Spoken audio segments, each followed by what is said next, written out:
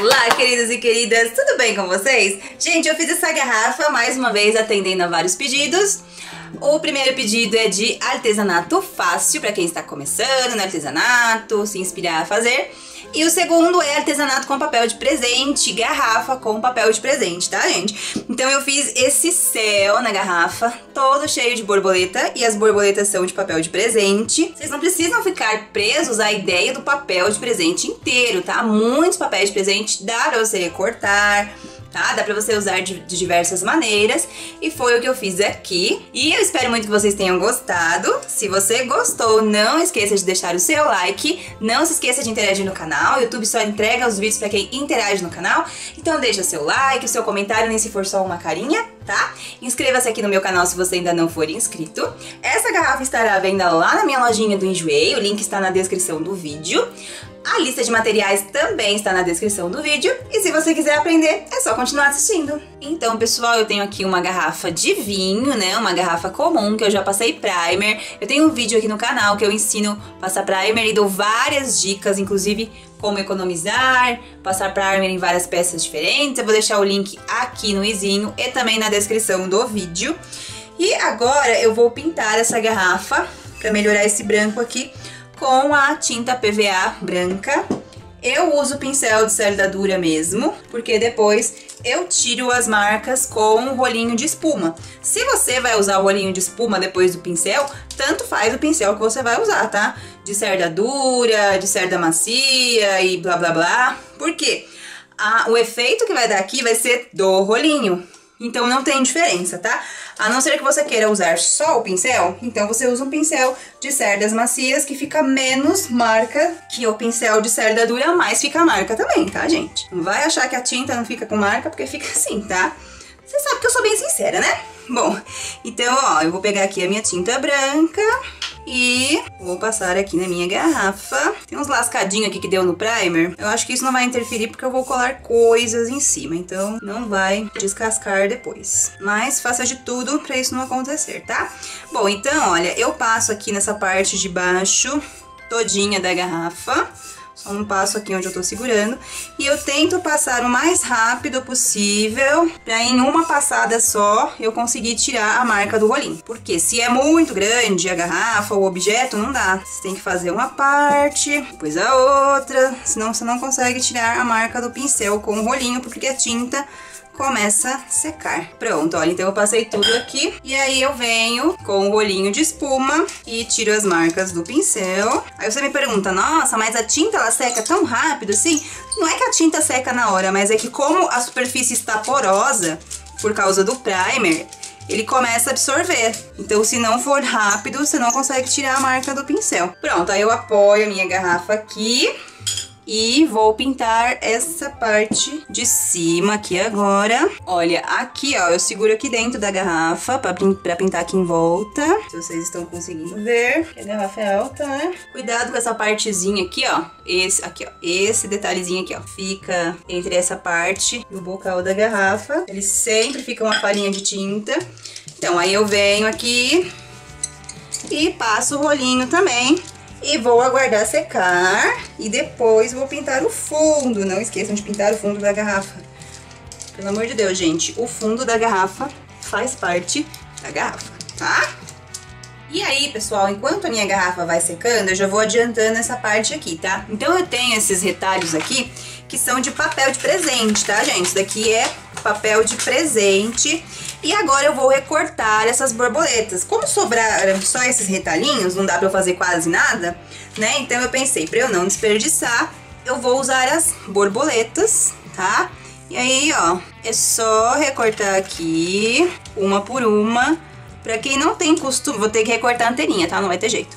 Pra quem não tem costume de recortar e ficar tudo mastigado, a dica é, abre bem a tesoura, Encosta o papel lá no fundo da tesoura e você vai descendo e virando o papel e fechando a tesoura ao mesmo tempo, olha. Ó, você pode ver que eu não tô mexendo a tesoura, eu só tô mexendo o papel.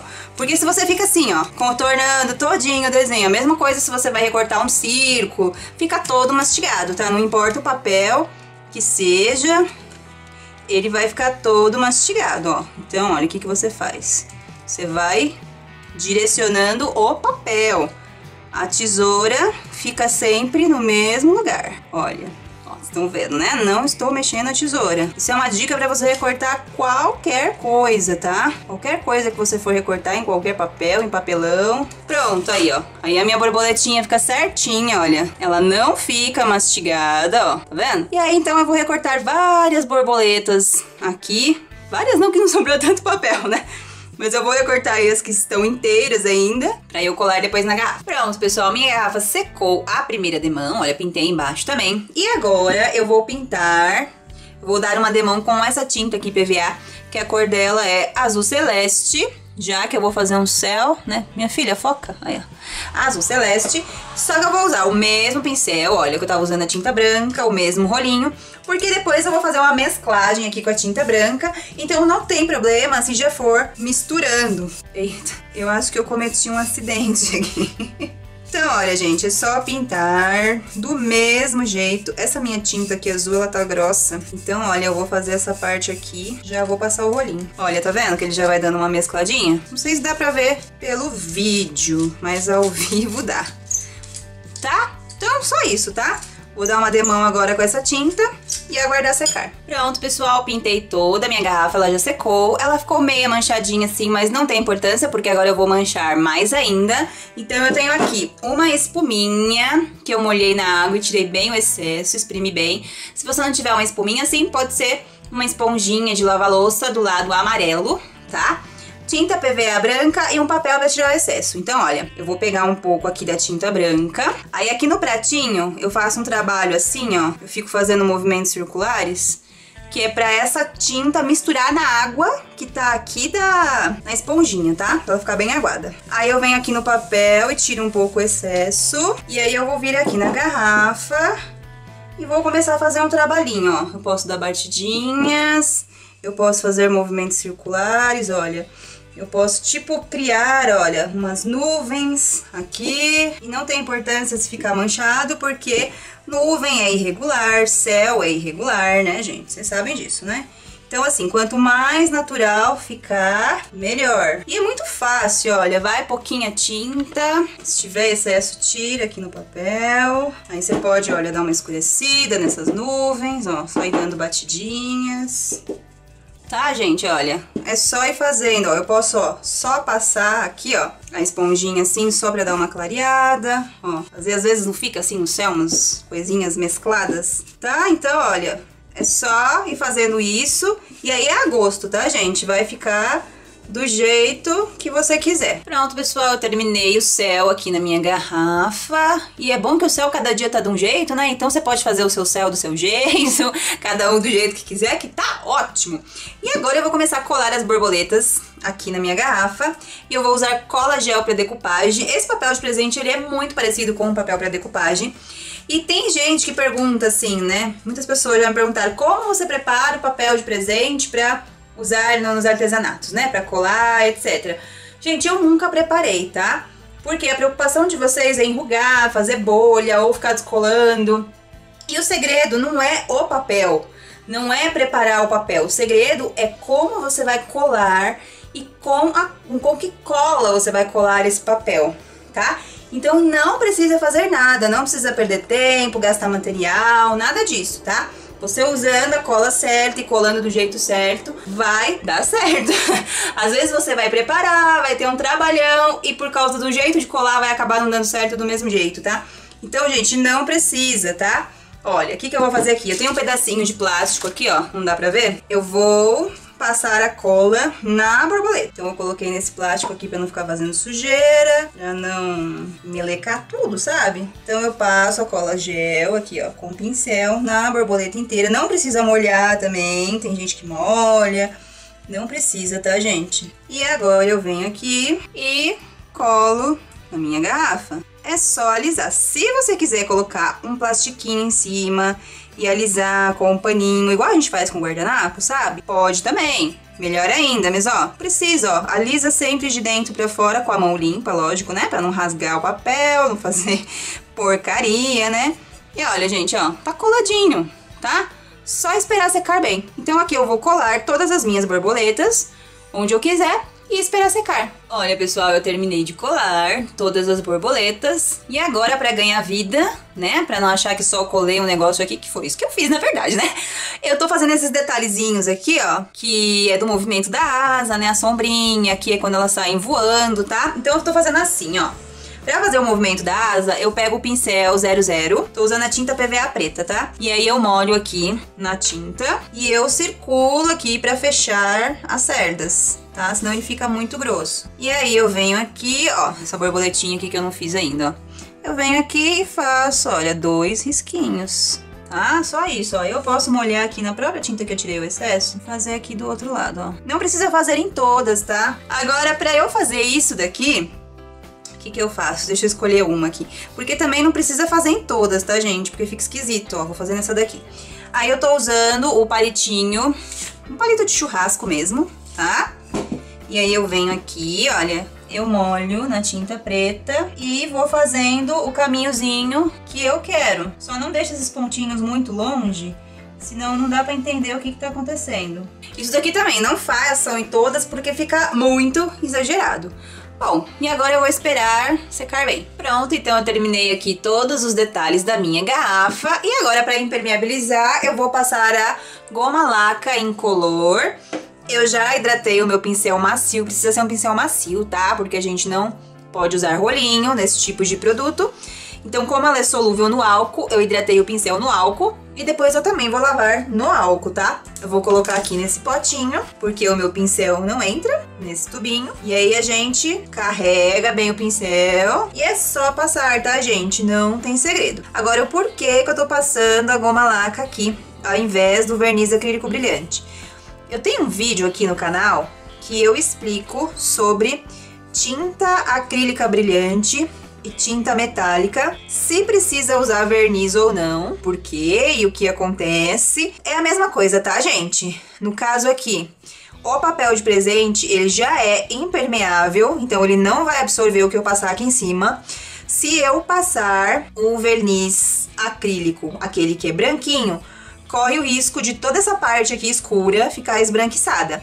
Então, como o meu papel ele tem bastante partes escuras, eu não vou correr esse risco, tá? Se você vai usar um papel de presente clarinho, Aí não tem problema, aí você pode passar o verniz acrílico. Bom, então olha, é só eu passar aqui a goma laca do mesmo jeitinho ali que eu passei o, a tinta, só que eu não vou, né, usar o rolinho. E aí eu vou deixar secar e dar uma segunda demão. Olha, pessoal, então eu dei duas demãos da goma laca. Olha como ela fica bonita, brilhante.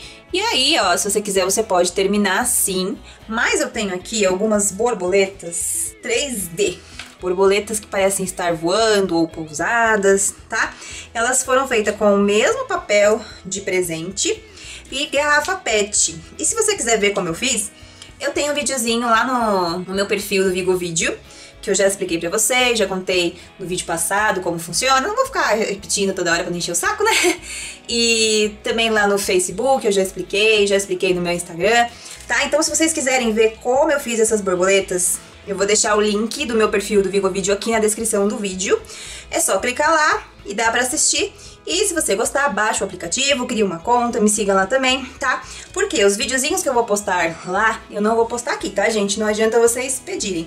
Por favor, entendam, uma coisa é uma coisa, outra coisa é outra coisa, tá? Eu não posso postar aqui no YouTube os vídeos que eu faço lá e eu não posso postar lá os vídeos que eu faço no YouTube e não tenho por que eu ficar repetindo, tá? Você quer assistir? É só ir lá e vocês assistem. Bom, e aí eu vou colar essas borboletas agora em alguns lugares da minha garrafa. Só que eu vou fazer o seguinte.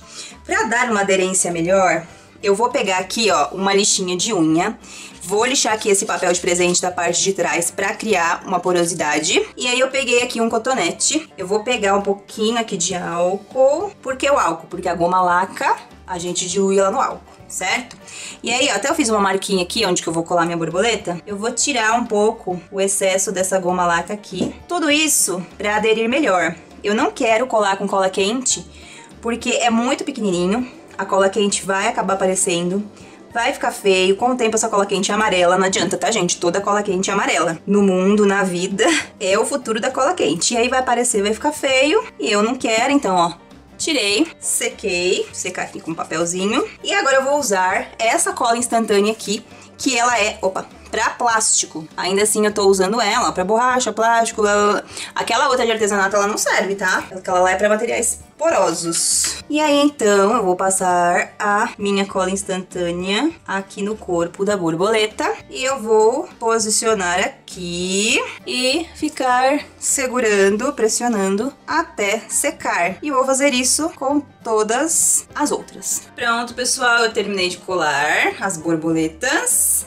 E a minha garrafa ficou assim, olha, toda colorida, animada, divertida, com essas borboletas 3Ds, esse brilho todo. E eu espero muito que vocês tenham gostado. Se você gostou, não esquece de deixar o seu like. Inscreva-se aqui no canal se você ainda não for inscrito para receber mais vídeos como estes. Compartilhe esse vídeo nas suas redes sociais para que mais pessoas possam aprender também. Sigam-me nas minhas redes sociais, os links estão na descrição do vídeo. Lembrando que eu vou fazer sorteio lá no Instagram, mas primeiro tem que chegar nos mil seguidores. E não adianta você seguir e depois deixar de seguir, tá, gente? Só vai participar do sorteio quem estiver seguindo. E muito obrigada por tudo, beijos, fiquem com Deus e até o próximo vídeo. Tchau!